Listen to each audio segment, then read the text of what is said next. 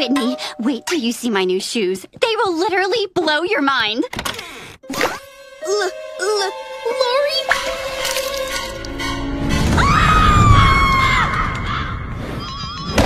Ah! Never mind, Whitney. Lincoln, this is the fourth pair of shoes Clyde's ruined this month. Lincoln, do you have any laundry?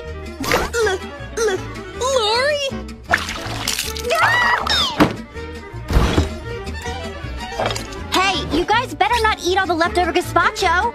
L- L- Lori? System overload does not compute. System overload does not compute. System shutting down. Ah! Mom, Dad, I'm off to practice. Clyde, what are you even doing here? L- L- Lori? Maybe you should try wearing red shoes. Right? Bad idea, Lincoln. Uh, I just wish Clyde could act normal around me. So do I, my sweet angel. So do I. But how am I supposed to act normal around such a beautiful, flawless.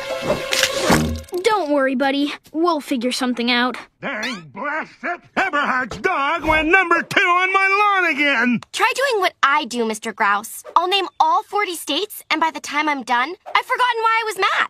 Well, actually, it's 48, but I'll give it a try. Alabama, Arizona, Arkansas, California.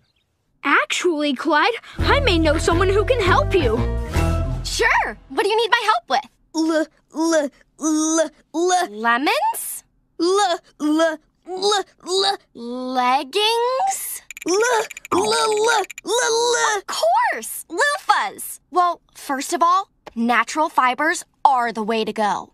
He's talking about Lori. Oh, she doesn't use a loofah. That's why she has backne. No, I want to learn how to act normal around her, or at least just stop bleeding on her shoes. Have you tried shoving carrot sticks up your nose? Yes, and breadsticks, pretzel rods, and corn dogs. What you really need to let cool down first. Well, no worries. I know other